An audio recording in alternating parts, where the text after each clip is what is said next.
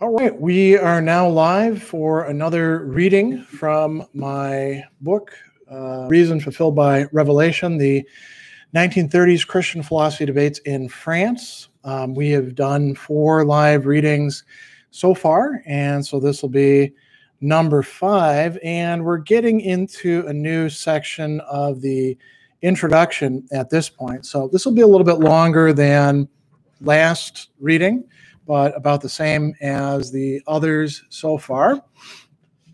Um, before I get started, let me um, say that the, the reason I'm doing this is this is the 10 year anniversary of publishing this book that took me uh, roughly about what about uh, six years of research and then a couple years of, of writing and editing and things like that going on.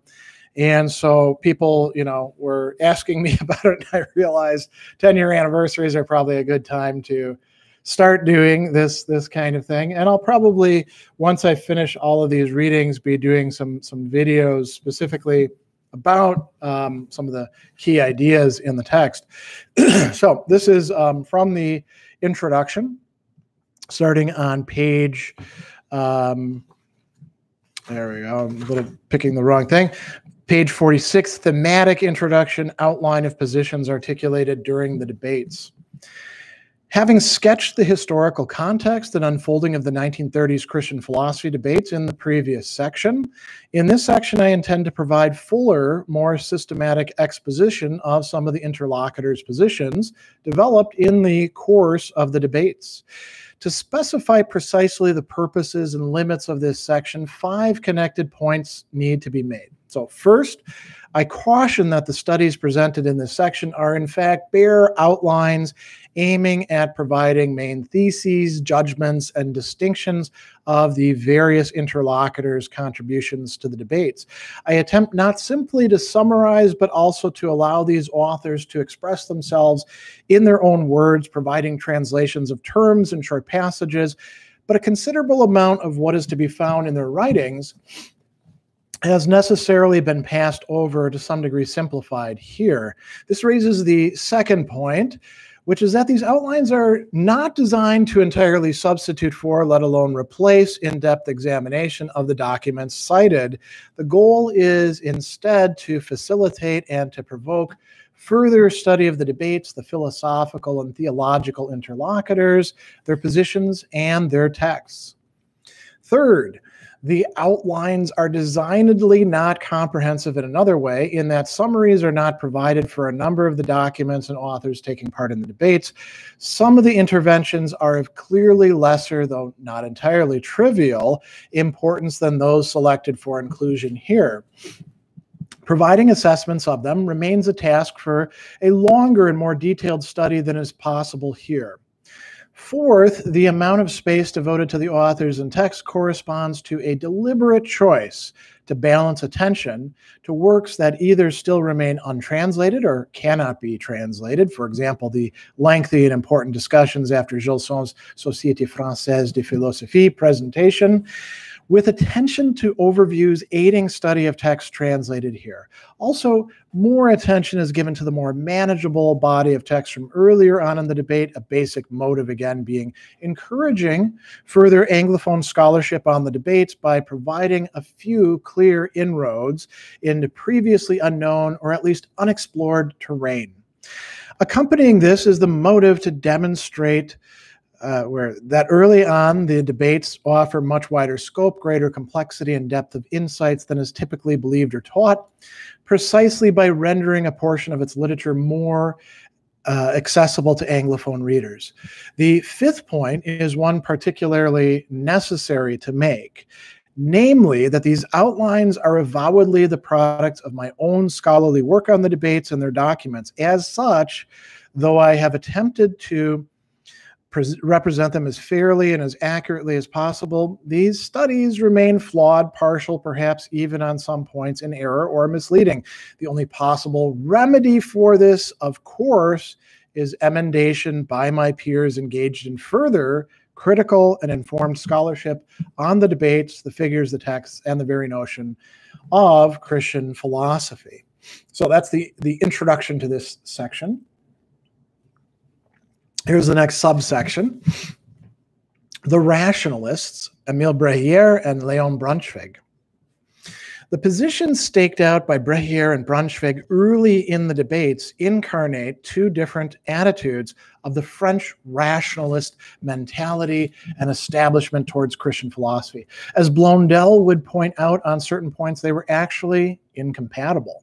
Still, their two positions are broadly representative and both set out clear and well structured sets of challenges to which any position arguing in favor of Christian philosophy would have to respond.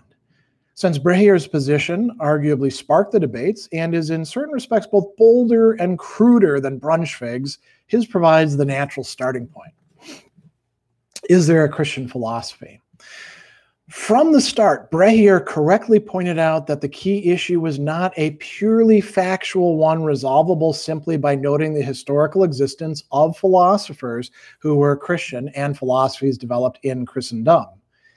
Instead, there was a question that had to be resolved normatively, and Brehier envisions only two types of resolutions, each providing a possible concept of Christian philosophy.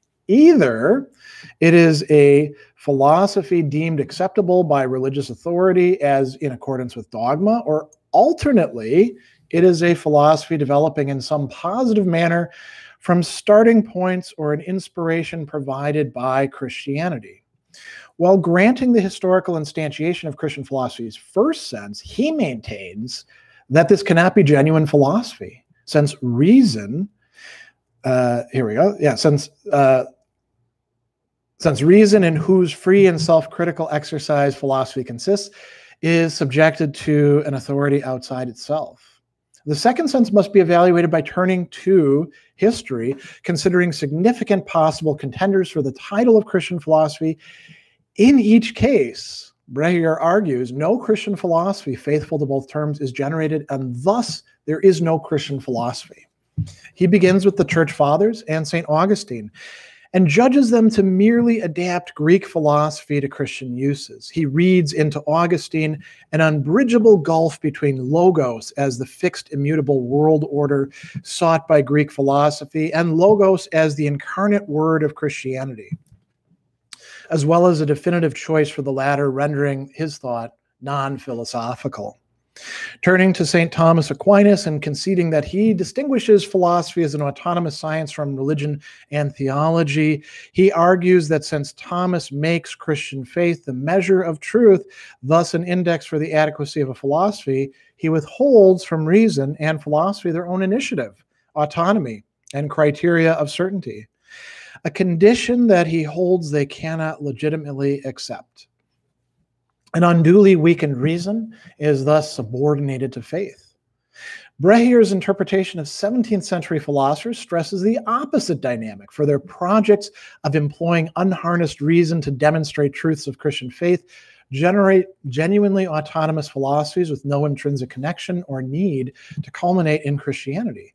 Interestingly, he invokes Pascal's criticisms of Cartesianism, but does not consider his thought as a possible Christian philosophy.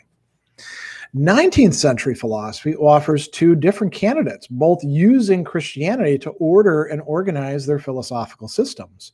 Traditionalism, distrusting the individualistic, abstract, emancipated reason of the revolution, makes religion, specifically Christianity, and language into the necessary requirements for the proper exercise of reason, in the process turning Christianity into a mere means for an organic social sphere. Brehier points out that the endpoint of this is Comte's positivism and religion of humanity. He designates a similar endpoint for the Hegelian experiment in Christian philosophy, which rationalizes Christianity on a yet higher level in Feuerbach's atheistic humanism. The last philosophy he considers is Blondel's, which he dismisses with a dilemma. Either it is Christian apologetics from the start, therefore not philosophy, or the problem of action it focuses on gives it an ethical direction with no intrinsic connection to Christianity. Brehier in the Société Française de Philosophie se session.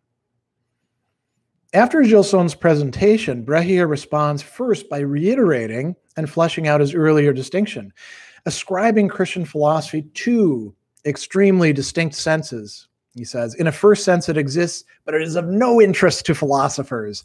In a second sense, it would have interest for philosophers if it did exist, but it does not exist.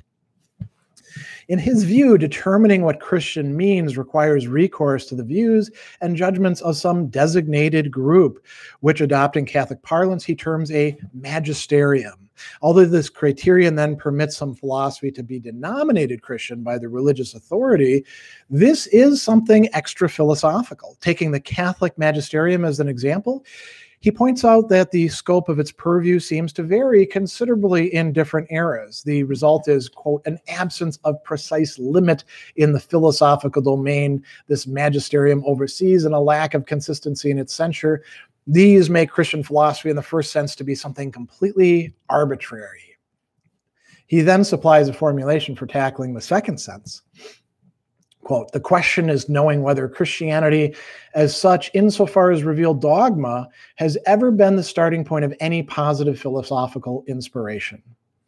He bases his own response on his historical research, from which he calls two main interrelations between Hellenistic philosophy and Christianity.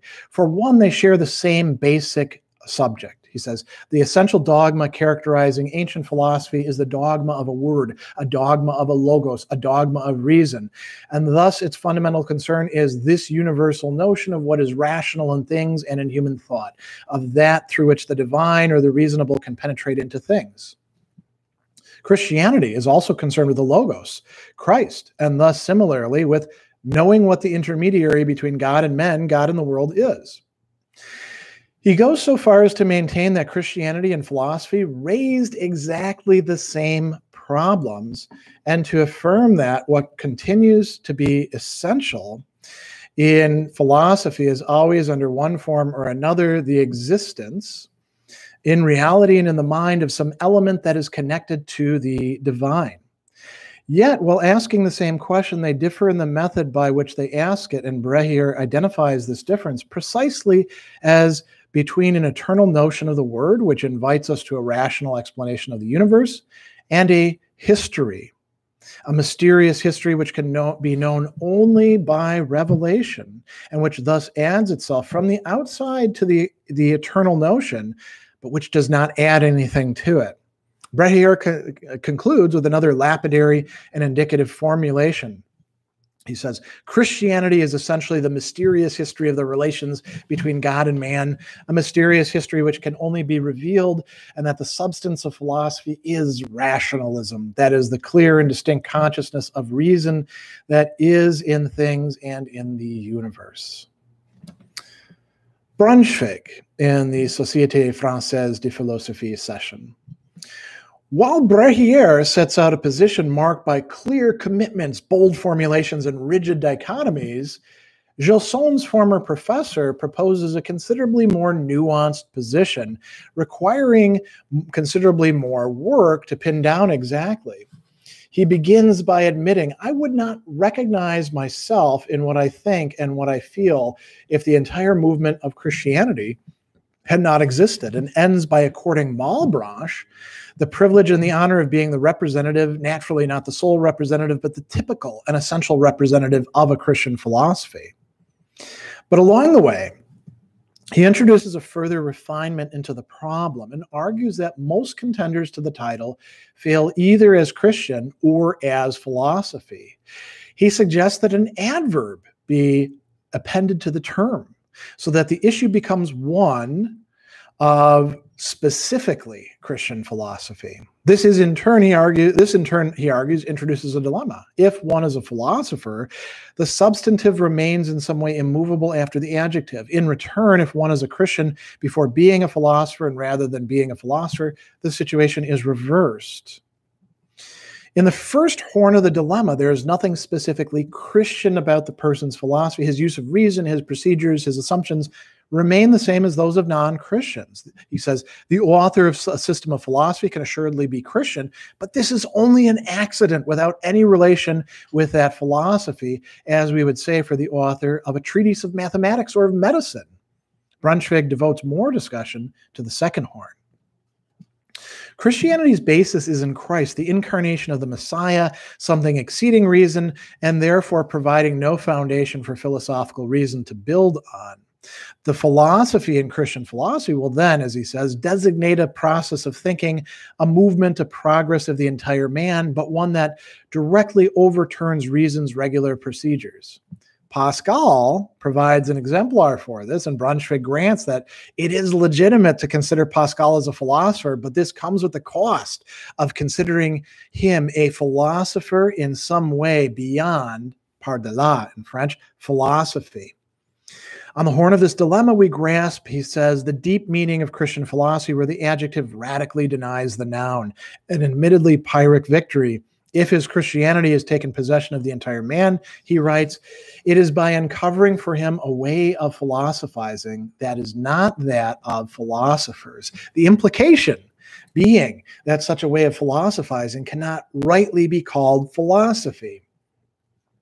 Brunschvicg is also willing to place St. Thomas Aquinas' thought in this category, but adds that it also lacks the properly rational meaning of philosophy because that re- the reason that precedes the 17th century had not yet arrived at maturity. He does, however, grant the possibility of something it would be appropriate to call without equivocation and without compromise a Christian philosophy. In fact, he identifies Malebranche as an example of this. He writes, this is the case where a metaphysician, reflecting in a manner deep and naive at the same time, would arrive at the conviction that philosophy ends up only raising problems, entangling itself in difficulties. The clearer a consciousness it will have of these problems, the deeper it will sound the abyss into which these difficulties throw philosophy, the more it will be persuaded that only Christianity's own solutions will satisfy the philosophical problems. He could perhaps have singled out Blondel, on whose dissertation committee he'd been a member for this third possibility. Brunschvicg's rationalist idealism also introduces a new wrinkle to the problem, challenging the very distinction of divine revelation and its contributions from the products of human reason, such as philosophy. Similar to Hegel, Brunschvicg holds that, quote, faith, insofar as faith is only the prefiguration, the sensible symbol, the approximation of what properly human effort will be able to set in full light. Considered in this light, the Thomistic baptism of Aristotle, completion of philosophy, the Aristotelian type, by a theology through imagination of a supernatural and transcendent order, would involve conflicts of two modes of what is at bottom properly human thought though Brunschvicg's rationalist interpretation of Revelation in his larger works seems weakly supported by invoking the problem of pre-Judaic, Babylonian, Egyptian, etc., origins of contents of so-called revealed dogmas restricted to the faithful of a particular cult, during the debate, he raised an important issue not addressed by many of the interlocutors the significance of involvements of human beings, faculties, and even culturally conditioned and mediated disciplines in divine revelations, provision, and transmission. All right, next portion revelation generative of reason, Etienne Gilson. Buttressing his position by interpretive exegesis of key figures from medieval philosophy, Gilson argued for the demonstrative historical existence of examples of Christian philosophy. He also probed into the bases of various groups, rejecting its possibility, criticized what he took, wrongly, to be the Blondelian position, argued for the legitimacy of the notion of Christian philosophy, and provided it a number of characterizations and definitions. All told, Gilson produced a coherent, robustly developed position, still regarded as the definitive one by many contemporary proponents of Christian philosophy. The notion of Christian philosophy. In his Société Française de Philosophie presentation, the form Gilson's approach takes to the entwined questions of Christian philosophy's possibility and correct notion is reminiscent of Thomas Aquinas' favored framework for addressing issues. He begins by reviewing three positions opposed to Christian philosophy's possibility, then brings up Augustinian positions for it, while recognizing and appropriating valuable elements and insights from Augustinian positions, he criticizes them as insufficiently philosophical then, after having thus cleared the ground, articulates his own position. Two of the positions opposed to Christian philosophy, rationalism and what he calls theologism, offer similar resistance because they share a number of assumptions in common, but argue towards the same conclusion from opposite ends deriving from radically different valuations of Christianity and philosophy. From the theologist perspective, quote, where Christianity is, it is useless or dangerous that philosophy be. Likewise, from the rationalist one, quote, where philosophy is, it is dangerous that Christianity should be. Where the rationalist sees in religious faith dogma or authority forces inevitably restrictive and corrosive of the reason that provides philosophy's principles, essence, and ends, the theologist or fideist sees in philosophy an unsupported human reason a temptation to prideful knowledge incompatible with Christian faith and salvation. For rationalists, by its being Christian, Christian philosophy degenerates into mere apologetics and thus deviates from the search for truth, while for fideists, by its being philosophical, it etiolates Christian revelation and life. The third, the neo scholastic position, holds that since both are grounded in truth, faith and reason are ultimately in agreement, but that a Christian dogma and revelation can at most supply philosophy with a negative criterion of its adequacy and full use of reason. It cannot provide any distinctive starting points, principles of inference, proofs, methods, or conclusions to philosophy, which would then be transferred to theology. Philosophy is and must be an enterprise carried out by an employment of a human reason that remains the same whether in a Christian or non Christian. Gilson discusses three main Augustinian positions for Christian philosophy. The first being Augustine's own project involving philosophical assimilation and unfolding of truths believed by faith, in which, in the conditions of its exercise, reason enters into intimate relation with faith. The second position takes the form of medieval and modern interpretations of Augustine, construed as Christian philosophy against peripatetic and Thomist philosophy. Homing in on the third, which consists in contemporary analogs to the second, position. He differentiates, quote, the Thomistic attitude uh, toward the concrete from the Augustinian. St. Augustine always seeks notions comprehensive enough to embrace the concrete in its complexity. St. Thomas always seeks notions precise enough to define the elements that constitute the concrete. In a word, the former expresses the concrete, the latter analyzes it for the Augustinian in a Christian philosophy, Christian person's philosophy, authentically grasping and grappling with the concrete, faith and reason become fused in a unity, resulting in a Christian philosophy. But while producing, as he says, a correct description of the reality to be explained, Augustinians refuse to provide its explanation by carrying out philosophy's task of analyzing it into concepts. Gilson sets both Bergson and Blondel into this category, and while conceding the, the validity of their critiques of reification of abstractions, argues that their rejection of concepts and the philosophy of the concept renders their work something lesser than philosophy, with the implication that neither could therefore supply a Christian philosophy. There is, however, a vital insight to the Augustinian position, which becomes a keystone in the edifice of Gilson's position, namely the real unity of philosophy and Christianity in the philosophizing subject, human subject. Likewise, faith and reason are rooted in the human subjects in which they exist and come into fruitful contact. We do possess concepts of the Christian religion and philosophy corresponding to their essences, but they do not possess existences independent of their subjects in which they are united and integrated. And so a Christian philosopher's reason is not something different from the reason of a non Christian philosopher, but it is conditioned by the coexistence of non rational Christian faith in the philosopher. Against those who would seize on this to claim that Christian, the Christian's reason has thereby been vitiated, Gilson points out that every philosopher's reason coexists with something non rational. He follows that up by noting that the Christian philosopher is, quote, convinced of the rational fertility of his faith and sure that this fertility is inexhaustible. Christian philosophy's rational legitimacy having thus been established, historical research can be carried out to discern whether there can be found, quote, philosophies, that is, systems of rational truths whose existence cannot be explained historically without taking account of Christianity's es- existence, since in them Christianity played a significant role in the constitution of them. Within such philosophies, Christianity would have opened possibilities for further determinate development of rationality by philosophy, so that in the concrete human subjects engaged in philosophy, Christianity proved to be a revelation generative of reason, right?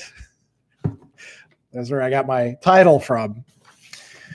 While rhetorically leaving the historical existence of Christian philosophy is an open question to be decided by research and the question whether such philosophies possess genuine value to be one for rational critique, in the cont- context of his body of previous work and commitments, Gilson leaves no doubt that he considers these questions definitively answered in the positive. All right. Gilson's Société Française de Philosophie discussions with Brehier and Brunschvicg. As the main presenter, Gilson engages the two rationalists in debate immediately after their presentations. The first quickly devolves into a near complete rout for Brehier, while the second is far more evenly matched and inconclusive. Gilson leads off by grasping Brehier's dilemma by both horns.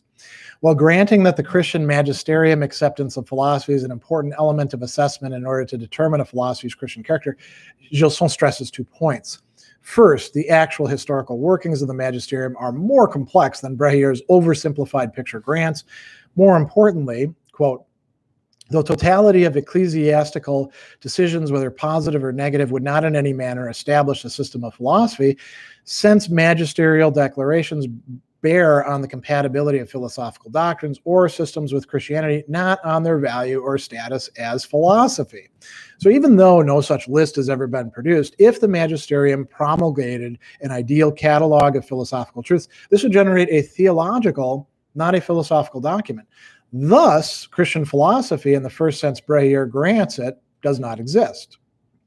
In its second sense, he argues that it does exist. Gilson candidly admits, I follow a different historical method than Brehier, and he goes to suggest that his opponent's interpretations go beyond the support of textual evidence by paving over open questions with unargued for assumptions. Gilson writes, I agree entirely about the primordial importance of the doctrine of the Logos, but I do not recognize for myself the right to say that it is the philosophical question or even the Christian question. My personal studies, and as far as I know, those of others, are not advanced enough so that I could dare to make such an affirmation. He points out another problem. There are non Christian notions of the Logos does this prove that there does not exist a specifically Christian notion of it? For if there is one, we find the existence of Christian philosophy proved on the very ground where one wants to deny it. He further problematizes two assumptions underlying Brehier's interpretations of Augustine. Quote, are the philosophical truths St. Augustine says he found in Plotinus's work independent of all Christian influence? Was what he says he did not find there indifferent to the philosophical order? Both of these would have to be true for Mr. Brehier's thesis to be proved, but both of them seem doubtful to me. Gilson then cites his interlocutor's own texts in which he maintained a difference between the Jewish Philo's logos and Christian logos and downplayed Augustine's dependence on Greek philosophy. In this way, after having said that there is no Christian philosophy, you add that it is only with many precautions and reservations we may speak of the Platonism of St. Augustine, that self knowledge has a different meaning in Augustine, uh, Augustine's and Plotinus's works. That, as in the case of self knowledge, Augustine's interpretation of intellectual knowledge sets him apart from Plotinus. How do you make these two theses agree? Brehier's response to Gilson's criticism character, characteristically shifts the ground of his argument. he, he says doctrinal continuity is something of very little importance in philosophy. Everything is the method, the way that one sees things.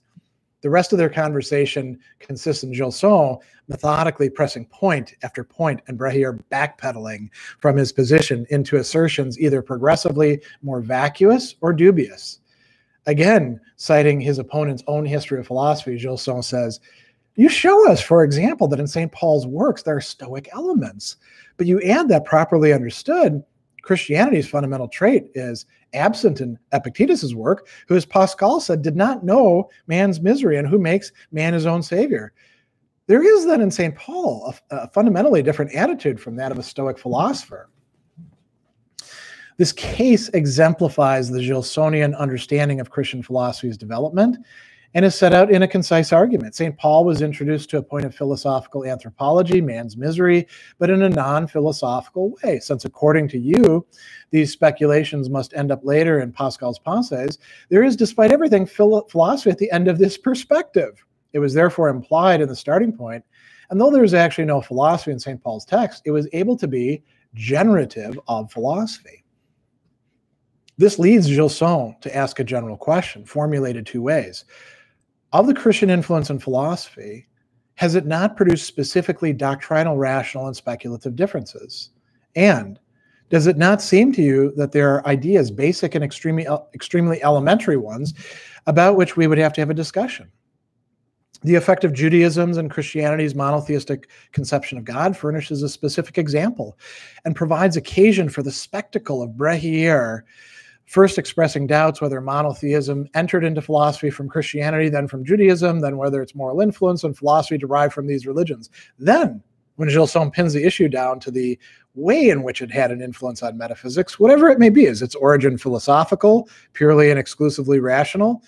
Brehier suggests this remains a problem for further study. Gilson retorts, Actually, Christian philosophers have interpreted these words from Exodus, ego sum qui sum, as signifying God as being, no longer simply the good, as in Plato, or pure thought, as in Aristotle. Where does this come from? He sweeps aside the suggestion that it does come from Aristotle. And when then when Brehier brings in the question whether Exodus's formula would have been treated philosophically if Aristotle's theology had not existed, he rightly points out the rationalist confusion of two different issues. I do not know at all whether there would have been a Christian philosophy without a Greek philosophy, but that doesn't prove that there has not been a Christian philosophy. They continue the dispute, moving to the conception of creation, which introduced the idea of beings, of existence as radical contingency, no longer that of intelligibility or of order as in Greek philosophy. Brehier first tries to claim that creation is found in Plato's Timaeus, only to have pointed out that the demiurge is a rather different and lesser notion, not involving generation of being itself, which enters philosophy through the biblical creation account. He then brings up the fact that all philosophers make recourse to the idea of creation, a point whose irrelevance Gilson observes, saying, My thesis is not at all that the Christian revelation introduced philosophical ideas that are valuable in every time and which would be universally valuable in all times. The question that I ask is that of knowing whether it did not introduce ideas that became philosophical and valid for authentic philosophers. The discussion between Brunschvicg and Gilson immediately centered on the issue of rationality and contestation of the former's dismissal of pre 17th century reason as underdeveloped. Again, Gilson uses his opponent's own text.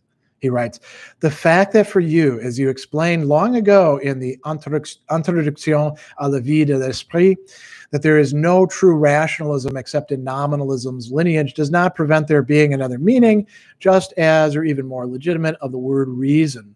The two philosophers circle each other, sparring first over the philosophical legitimacy of the Aristotelian exercise of reason, a conceptual and not nominalist exercise, and by extension, philosophies for which there are concepts and admit the reality of the concept.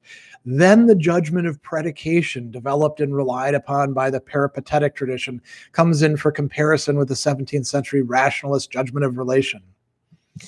The interlocutors do not really come to grips until Gilson argues at length that quote, for St. Thomas Aquinas, philosophy was perhaps Aristotle in a certain sense, but that what was original in the philosophy of St. Thomas Aquinas flows much more directly and more deeply from Christianity than from Aristotle himself.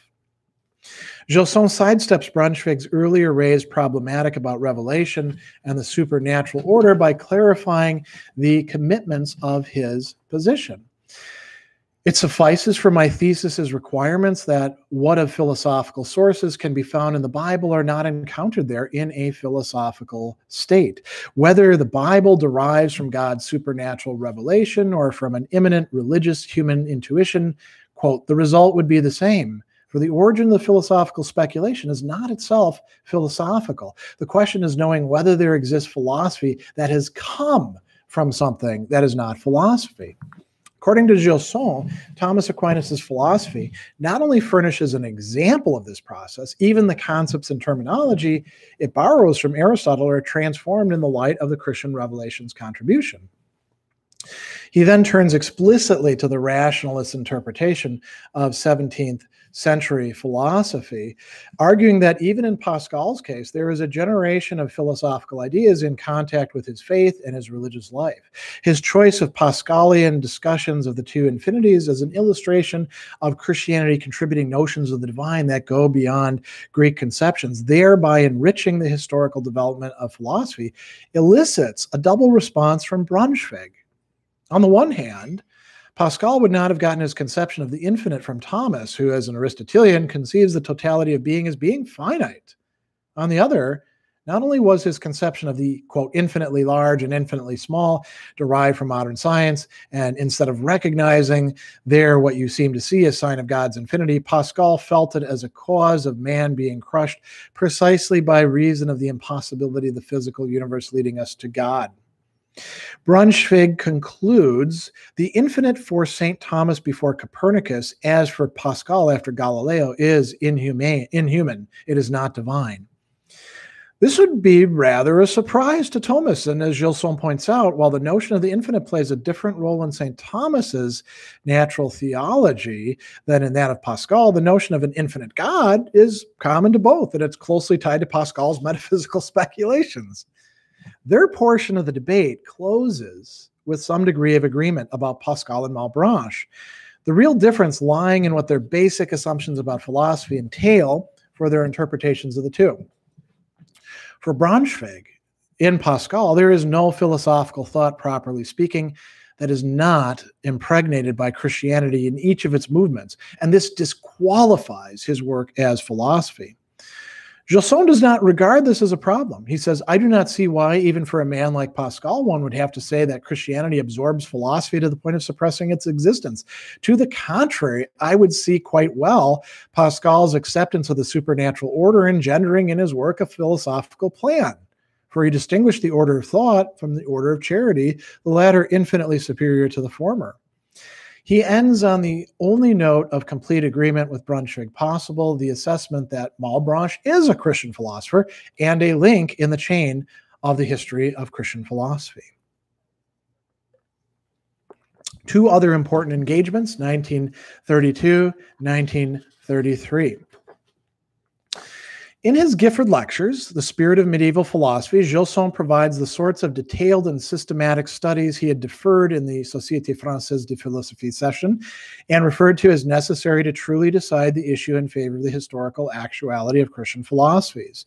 Since that work was long ago translated into English and a sizable body of scholarly commentary and criticism of it already exists, I will simply indicate five of its features particularly relevant to the context of the debates. The first is that the bulk of the work is devoted to detailed exposition of numerous classical examples of the same basic dynamic of Christian revelation, providing occasion for novel philosophical development.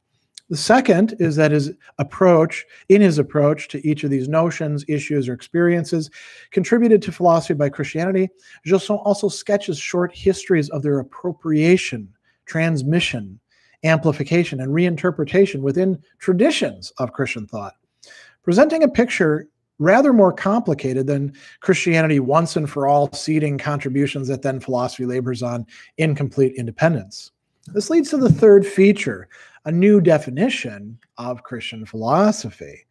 He says, I call Christian every philosophy which, though although keeping the two orders formally distinct, nevertheless considers the Christian revelation as an indispensable auxiliary to reason.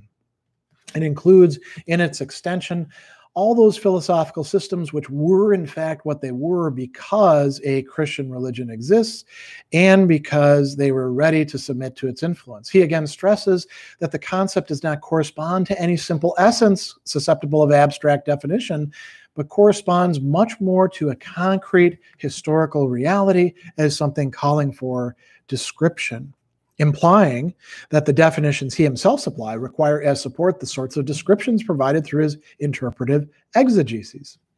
A fourth feature of interest is his expanded critiques of three positions construed as his main rivals rationalism, neo-scholasticism opposed to Christian philosophy, and Blondel's philosophy, the, the latter targeted not by name, but under the aspects of a philosophy open to the supernatural, and of those who, without denying the legitimacy of philosophy, would incorporate Christianity whole and entire within. A fifth, particularly interesting feature is that Christian philosophy is framed not as an entirely past actuality, but as a present and perennial possibility.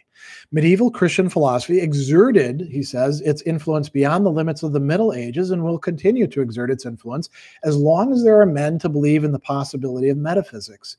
Even more generally, the formation of a Christian philosophy was inevitable. It is still so today and will so remain as long as there are Christians and Christians who think. Gilson also became directly involved in the conversations after both sessions at the Societe Thomiste second day of studies, provoked by the intransigence of Pierre Mandonnet's remarks. He begins by saying, I had made a promise to myself not to speak, then makes a number of illuminating remarks and answers. First, he points out an inconsistency in the purely personal or extrinsic relation between philosophy and Christianity held by the neo scholastics there, if he says if there are factual relations between faith and reason between revelation and philosophy in a concrete subject it is impossible that there is no normative relation. Although the formula is classical and entirely satisfies them gilson concedes himself willing to give up the term christian philosophy and notes that a better needs to be provided because the expression designates a reality namely the enrichment of greek philosophical thought by the by the christian contribution Bruno de Solage asks of Gilson whether Christianity's new contribution is similar to the influence of another great philosopher or of a philosophical school introducing new ideas, or does this influence possess something particular to it, something that doesn't resemble any other influence? Gilson answers I have the impression that no, the influence is not of the same order. When our philosophers received the notion of God as being or that of creation, they were especially struck by two things their perfect rationality and that nevertheless, reason alone had never been able to discover them.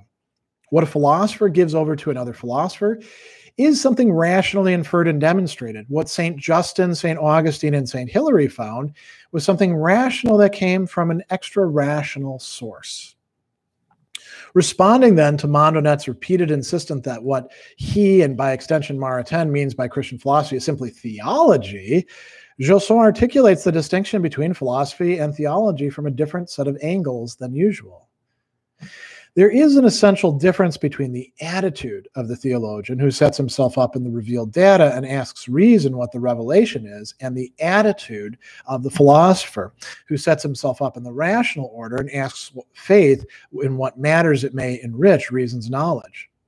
The fact that reason and faith play a role in theology, as they do in philosophy, does not at all imply that they play the same role there. The theologian's conclusion is always something revealed, whatever appeal he may make to reason. That of the philosopher is always something rationally demonstrated, whatever appeal he may make to faith. Another interlocutor, Masnovo, argued that Christianity's relations with philosophy were, for the most part, extrinsic. It could have an intrinsic relation only that philosophy grasps, quote, its powerlessness to completely resolve the problem of life that it itself raises and in which it essentially consists, and the consciousness derived from this of being pushed to seek out by another path the full solution, a seeking that ends up factually in Christianity. Masnovo's formulation contains echoes of Blondel, and Gilson makes several points in response. He contests the unduly restrictive interpretation of relations between Christianity and philosophy. He writes, for a Christian, even the fides ex auditu, when it is received as such, does not seem to me to constitute an extrinsic relation. He suggests that such interpretations do stem from, quote, the necessary correction of an immanentism quicker to attack others than to define itself. Clearly, having in mind Blondel, against whom he makes the vital point, he could only have conceived that system because he possessed the Christian revelation. Even the determinate shape, scope, and contours of a philosophy open to the supernatural, cognizant by pure reason of the insufficiencies of nature and its lacks, or the insufficiencies of reason and its lacks, become undeniably different when seen through the eyes of Christian philosophers and after centuries of Christian influence. All right, so we, we close off there. The next section is philosophy in a Christian state, Jacques Maritain, and then Catholic philosophy, Maurice Blondel, which we will read next time.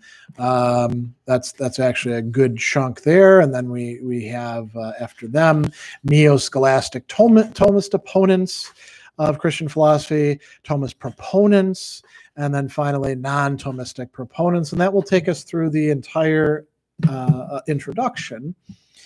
So, um, a lot of reading there. Uh, hopefully, you found that interesting and useful.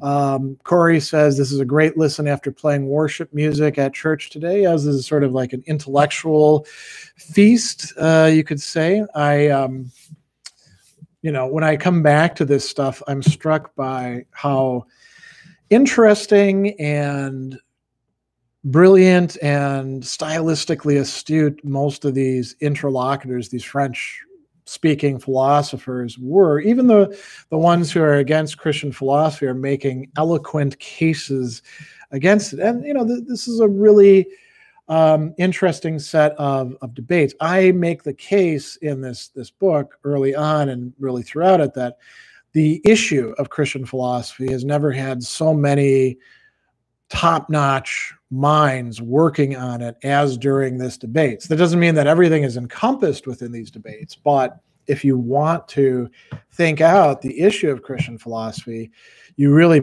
probably shouldn't try to to do it without um, you know some some engagement with the the debates. And fortunately, um, you know, we have some of them some of the documents translated here. There's also Gilson's um, uh, the spirit of medieval philosophy. There's there's other works as well. There's probably a lot more translation work that could be done, and maybe I'll do some of that down in the future. Um, Silent Hunter says amor fati doesn't really have anything to do with this. Uh, it's a Stoic thing or a Nietzschean thing. Uh, Ricky says I find this very interesting, and that's that's good. Uh, the Silent Hunter, uh, basically just showing off his Latin here. I'm not sure why he's he's looking for that sort of thing. Anybody got any any questions, comments specifically about the topics, the thinkers, the debates, the questions raised within them? Because that's that's mostly what I'm I'm you know going to focus on here. Um, if nobody has anything, then we can always just cut this short. Um, but if there are any questions about the book, the topic, the background, those sorts of things, I'm happy to answer them. Um, I will point out that most of Gilson's stuff, maybe actually all of it, has been translated in one form or another, so it's quite easy to get your hands on. Um, the other people who we mentioned, particularly in this, uh, Emile Brehier has a history of philosophy that's in a number of volumes that you do you will see in older libraries, right? Um, and then Brunschvicg, you know, uh, some of his stuff is translated, a good bit of it is not. All right, David Crosby, how deep do you feel the note, the roots of worldview are nourished by the context of the book? I don't really quite understand what you're asking, so maybe you could uh, clarify that a bit. Um, worldview can mean a lot of different things, and the context of the book, you're talking about like the debates themselves, or are you talking about the French context? Um, so maybe you can maybe you can write a little bit more about that. Silent Hunter says I like like your videos. Just hopped on. Didn't know you do live chats. I do a number of kind of live chats. I do AMAs, which are general. I do these live readings. It's you know says exactly what what we're covering here. The the book. Um, I do uh, political theory and practice discussions. Every once in a while, I'll do a philosophy pop up. So I do, a, yeah, we do a lot of live stuff, and you can actually find them on the Reason IO calendar, on my Facebook calendar, uh, and they're also generally once they've been scheduled, they're they're on the YouTube channel uh, where it says uh, live live chats, right? So, all right, any other questions, comments? Um, Cosmogenics has an irrelevant question about getting married. Um, that's that's not that has nothing to do with the Christian philosophy debate, so I'm going to pass on that. That would be an AMA question. Um, so you might want to ask that the next time that we come along with that. Uh, any other questions, comments, things that you want me to engage about the Christian philosophy debates, about the thinkers, topics? Uh, Ricky, was Mondel, you mean Blondel, making a case for Christian philosophy? Indeed, he was. Um, so, Gilson was um, uh, one of the main people making a case for Christian philosophy. Um, Jacques Maritain was, Maurice Blondel, Maurice Blondel, those are the top three guys. And then uh, Antonin Sertillanges, a Thomist, very underrated uh, thinker, by the way uh, Gabriel Marcel, Etienne Borne, a lot of the people that are being uh, discussed here are making a case for a view of Christian philosophy. One of the issues that arises is because within the um, Christian thinkers, some of them are, in some part, wrongly criticizing their contemporaries as not having the right kind of Christian philosophy.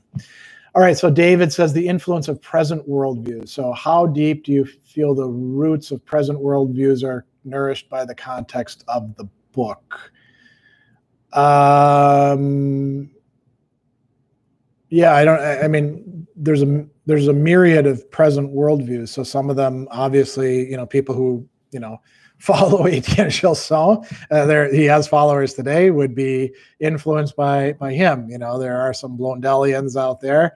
Um, a lot of what's what's going on, like what we what, what they're calling rationalism, there we would call secularism now. So um, that can have some things. B does the does the debate have parallels in other philosophical communities at the same time?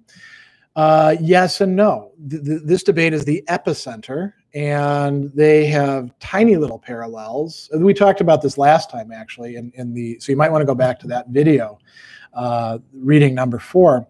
Um, there were some like spin-offs, you know, the American Philosoph- American Catholic Philosophical Association by 1936 was doing a session on it. The um, uh, you know,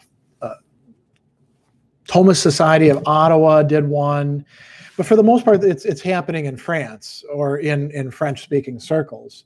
Um, and there were there was, as I, I, also brought up in the last talk, a Reformed Protestant spin-off debate that happened among Francophone Reformed uh, thinkers in the 1940s, going on into the 1950s, which is independent of the Dutch debate that really doesn't reference the French thought at all. Um, that people like Al- Alvin Plantinga, who have read the Dutch stuff but not read the French stuff, uh, were were revealed or were uh, influenced by. Uh, Tony, is there a connection between the 1930s Christian philosophy debates and the modern apologetic of presuppositionalism? I don't see any real connection between them. Um, Silent Hunter, what the thinker thinks, the prover proves. Revelation. I don't even know what that that means. So, um, any other questions about the uh, the debates, the book, the context? B, what are the key weaknesses in Blondel's reading of his opponents? There's only one key weakness, a lack of a lack of charity, and thinking that, and it's the same weakness in Gilson and Maritain's position, as so many other of the thinkers pointed out. They each think that their position, Gilson and Maritain on one side and Blondel on the other, is incompatible with the other person's position, when really they're they're complementary. That's that's the only real weakness that that's there. Um,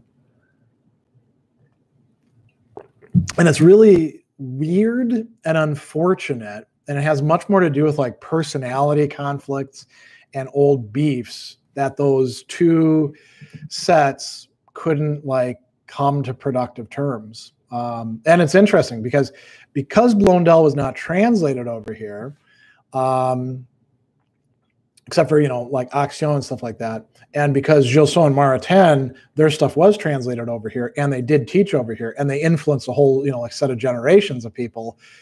The Gilson Maritain take became like the standard take, even though it was on that point wrong.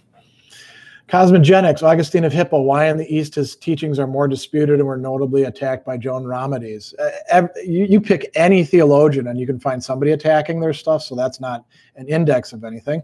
Augustine is essentially a Latin doctor. He writes in, in, in Latin. They don't read much Latin over, you know, past uh, a certain point. And they had their own uh, other doctors that they were into, you know. Um, that's about it damn it, what would you say is the most difficult aspect of translating philosophical works? Well, other than like knowing the language, you need to actually know know the language uh, that you're translating from. For me, one of the toughest things is being willing to say, okay, this is probably as good as it's going to get. I'm not going to tinker with this anymore or do additional research or writing because you, you there, there is no perfect translation right? And sometimes um, you might think of a better way of expressing something later on but um, you know you can only get so far with it right i i, I will say this i've been translating works uh, i first my first translations were actually from latin as part of the aquinas translation project way back in the 1990s as a, uh, a graduate student. And then I translated works from German and French. Um, I provide my own translations when I'm working from Greek texts uh, as well, you know, like uh, Epictetus or Marcus Aurelius, or I mean, I'll consult other people's translations. I have, um, through the work of translating, become much more forgiving of other people's translations you know, um, than I was before because I realize how how messy a process it is. B, has Blondel had more influence on later Christian thinkers influenced by post-structuralism than his contemporaries? Um, no, I wouldn't say so. Um, Blondel's influence has largely been within Catholic circles. Um, and he had immediate massive influence from the beginning. Uh, well, actually, before the, the 20th century began. Many Thomists have been influenced by Blondel, you know, including some of the ones that, you know, are should be considered very, very reliable. Norris Clarke is a great example, right? Um, Antonin Sertillanges, who I've mentioned, Bruno de Solage. Those are not post-structuralist thinkers. Post-structuralists tend to be um, with, with, you know it depends on what you mean by post-structuralist too. Is, is Jean-Luc Marion a post-structuralist? Probably not, because he doesn't engage structuralism as, at all. You know, he engages Derrida, but is Derrida even post-structuralist or is he deconstructionist? Deconstructionist? You know, uh, it's it's kind of debatable.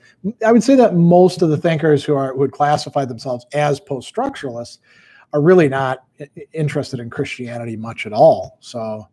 Um, David would use use scripturalism as a determining issue at the time. I have no idea what's meant by scripturalism. Um, that's that's not a term that generally gets used in, in this sort of thing, and it could mean a million different things.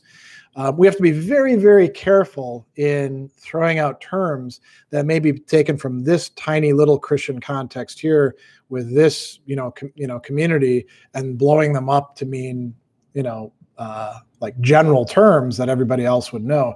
You always got to explain where the term's coming from and, and, and what it means. All right. Well, we're we're pretty much at the end of the hour. Uh, any other quick questions or comments or stuff like that? Um, if not, I'm going to get back on with other work that I got to get done today for my my classes, and we'll we'll do more of these uh, in the month. Um, hopefully, we can get through. Eh, maybe we can get through the rest of the introduction this month, and then start getting into the actual translations themselves, which are you know pretty sizable. We might have to break some of them into to chunks. We'll, we'll see what happens, but. All right. Um, let me say, have a great whatever you've got left of your day and weekend. Um, some of you, if you're far enough, are already in the next day. Um, most of you are, you know, either in your afternoon or evening time. Um, so I'll, I'll wish all of you a good little bit left of the weekend, and I'll see you next time.